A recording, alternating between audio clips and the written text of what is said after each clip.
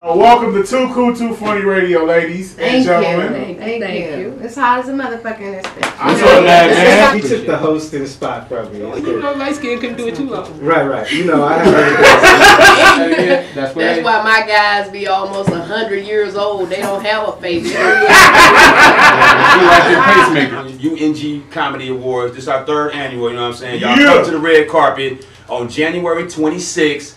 Come support Miss Arkansas. She's gonna be live on the red carpet hosting folks with Bobby Buck Show. That's gonna get it in. And y'all most definitely come see George G. Hill on stage, shut it down. The Too Cool, Too Funny Radio is gonna be in the building on the red carpet, getting it in. And the hot freestyle comedian that I, I got love, man, TC be just going off. Yes! Your boy Cody, he going in. He been working hard at his craft. So, Oh, you know what I'm saying? Y'all get prepared to see him and Big Mac on the red carpet with Oh, yeah. KK It's about to be Radio. It's going down, y'all. Big homie Madman, UNG, man. Let's do this.